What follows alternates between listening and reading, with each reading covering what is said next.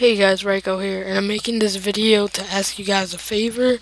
And basically, what I want you guys to do is click on the screen and go watch that Teamtage. It's the clan I'm in. I guess you could say it's second generation Hectic. I don't know how many of you know, but I used to be in that clan. And this Teamtage is pretty sick. You can just watch some of the clips. But all I'm asking is you go to it, and if you enjoy it, like it. I think it's actually really sick.